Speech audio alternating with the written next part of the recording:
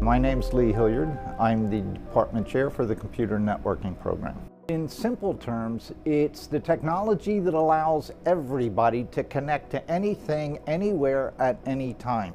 You see people walking around on their smartphones now all over the place.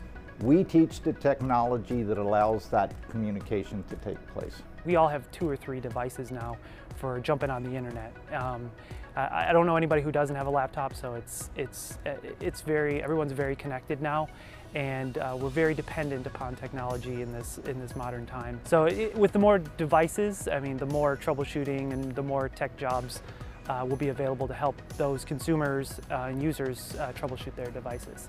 You really have to be dedicated because you have to spend a lot of time outside of class working on labs. So um, you know, it really takes a lot of a lot of work. The hands-on experience, we have uh, equipment racks set up in the room. You can see they wheel over to their uh, workstations and then cable everything up just as they would if they were out in uh, working out in the field. I also have equipment set up that the students can remote into uh, so they can work labs while they're at home.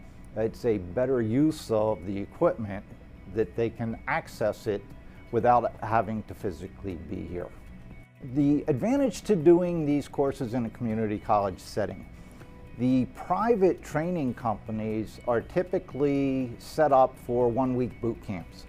Student that has no experience in the field is not going to absorb this material in one week.